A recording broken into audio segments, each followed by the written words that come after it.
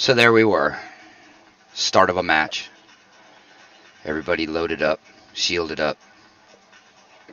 We were getting ready to do one of the best games of our life. Or the worst. We weren't really sure yet. I'm MT Helicon 2077, leader of BOTSS Clan. This here is my partner in crime and cohort, BOTSS Aries. Mm-hmm. How's it going? So we play Call of Duty a lot. Every night we do practice. Yeah. Well, almost every night. Almost Yeah. every night. Yeah. There's a few things that we need to discuss. First of all, let's talk about clan play. And how do we deal with the toxicity, uh, gameplay, strategies, tactics? Well, I'm a I'm you know how I play, so I'm a run and gun player because I mainly played uh, team deathmatch half my life with Call of Duty. But you, on the other hand, you're a little bit more sneaky, trying to go a little bit slow. You try to you try to make sure you don't get killed, just so you can hide and sneak up right behind them. And always do the shh. That's always one of the. Yep. And you try to listen to everybody. Make sure, especially if one of us is the last player, you always try to hear out for us. I don't know how. It's like it's kind of like Malcross with uh Malcross with his like those lightning quick sniper shots. He can see things that I can't see, but there's things that I can hear that other people for some reason that just passes them by. But Uh, yeah. Hearing. So. I do prefer uh, the challenge of using our strategies and our tactics, of which we've been honing and harnessing for a good nine months now. Uh, ever since we all started this on Cold War. and be honest, I have gotten a lot better since I've joined BOTSS Clan with at least Search and Destroy. I've gotten a little bit more. I've changed uh, my tactics. I've updated my play pretty much. I've Do you- a little bit more caution? do you find that you get like what is like the differences in your play style when it comes to TDM versus S&D or even like TDM. prop hunt or something like that, you know? Well, TDM, it's I'm more of a demon on TDM because I know I'm gonna just respawn back, pretty much. So I'm like, okay, if I die, I die. But in Search Joy, I have to play a little bit more calmly and not like rush in, rush. I gotta go in a rush, but I also have to keep myself back from where I don't get killed as quick. The thing I like about search and destroy for us personally is that that one shot, you know, one shot kill is to me it's realistic. Uh, Yeah. it's just not realistic when you have to dump an entire clip into somebody to down them. That's why we don't play the core modes. Uh, to me, I'm sorry, I just find them boring, man. They're just boring. I I started. Uh, I I never really did core. I always did hardcore. So like, my first Call of Duty was Modern Warfare 2, the original. Well, not the original, but you know what I mean. I always played uh, hardcore team deathmatch, uh, kill confirm. I used to like those modes. But like I said, ever since I started playing with y'all, uh, I've gotten to the point where I actually like Search and Destroy. I love it. It- I love it. The chance to the chance to use the tactics and strategies that we've accumulated over uh, over the last nine months. Like one of the things that we've done that I'm not sure if every other clan maybe does is we have designated rooms for designated things in the game, like our maps channel. We put the strat uh, strategic overlay maps into one channel so that people can uh, review them and study them. Uh, having some military experience, I try to run the crew with much of the same principles and disciplines that we had to learn for basic combat. Now, when it comes to us playing other clans, I have personally found that we knuckle up faster. We just come together quicker. It's just we we know each other's movements. We watch each other. We play we play with each other almost every night. So I mean, there's a familiarity with it. Be honest, we do need to start playing uh, the newer Call of Duty.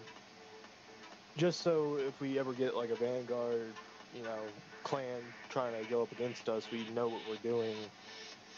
And I understand that you don't really like Vanguard that much because of the historical accuracy. I understand that, but we do need to start trying to at least. It's not, you know, I, I'm starting to get over the historical inaccuracies things, the the the the, the, the sometimes just straight up loco stuff that they have in there, remote control mini tanks in a in a World War II game, some of the skins, and honestly, with with I'm not I'm, honestly I'm not gonna pay sixty something dollars for a game that if I don't like it, I can't return it, I can't get it, I can't get my mm-hmm. money back, or at least I can't even take it to a pawn shop and get half the money back because nobody's playing it, nobody likes it. It's a horrible game. From the reviews that I've seen from the other streamers that I've watched play it, it's to me it's everybody's moving at 6000 miles per hour. It's Yeah. uh, it, it's just a total that's- mess to me to me Uh, personally that- that's, why I like the fact that they're for Modern Warfare 2 that they're releasing a new one next year. I got Uh, high hopes for that one. A year off. I'm glad they're taking a year off to actually make sure they get the game hopefully right, which that's a hopefully. That's not like a guarantee for them. Because to be honest, Activision has been kind of, you know. that's one way to put it Sorry, Activision. well hey truth is truth it doesn't seem like activision really cares about what the players want it's it's they're Yeah. they're, they're the microtransactions and the skins and but there's no real but there's like no real reward we're not getting rewarded for our gameplay it, yeah. it seems And almost like we're being punished I think the last good uh, Call of Duty was Naughty. It, well, to be honest, 2019 Modern Warfare wasn't as bad, but I think the best like one before that would be, or uh, yeah, before that would be uh, Black Ops 2, Modern Warfare 3.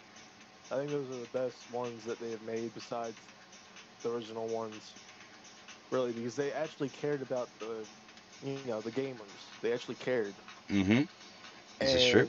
i think they need to put more of that love back in for the game that they used to have for the players I was just watching the footage and I got ran over by a train. It's very embarrassing. Mm. It's very embarrassing. Some of the things that I think they could do with Call of Duty are just all of the modes, uh, the, the Mm. domination and the the kill confirmed are all just variations on TDM, another form of TDM, and it just gets so boring so quickly. Let's talk Modern Warfare, uh, Warzone for a minute. we've been playing that a lot recently yeah. We have actually been playing that a lot lately. One of the things that I don't like is the fact that they don't have a hardcore mode. Which to Well, me would make the game way, You get that. way more interesting. Way more interesting. When you when you know you can take ten rounds and hide behind a rock and get away, it doesn't mean as much as if you take one shot, you're down. That's Mhm. one shot, one kill. That you know, don't even call it hardcore. Call it one shot, one kill. Uh, with Call of Duty Cold War and Modern Warfare, I think they could have put in uh, like a predator mode where you become the guy with the highest player becomes the most hunted. Once you kill the highest the highest killer player, you become the hunted. Every and and you have to go as long as you can to the end of the game and either kill the hunted hunters or Mhm. survive. But every time you die, you become the hunted. That there, that's just one variation I thought To be of that honest, would. kind of that kind of reminds me of uh, infected off Cold War. To be honest, that kind of sounds like something off Cold War, which infected. I, I'm not a zombies guy. I know, I know, I Mhm. know. I just, I just can't get into them. Zombies to me have been just so overplayed. Here's the thing: you know what they should have done with infected? They should have put it actually in the zombies category and not put it in the multiplayer. I don't have enough. I don't know. I don't play it enough to even be able to. Mhm. So, all right, this has been video one of uh, what we're going to be starting as a series called A Clan Perspective. Um, we're going to be reviewing different games, different scenarios, different settings. Uh, so here we are, Uh, MT Helicon and Aries. Good. Uh, we're both live on Twitch a lot, so come visit us. That's right. All right, everybody. Thank you for watching the video. Don't forget to hit that like. Don't forget to hit that subscribe, and tune in for the next one, which might be today, might be tomorrow. Peace, everyone. Peace out. Later.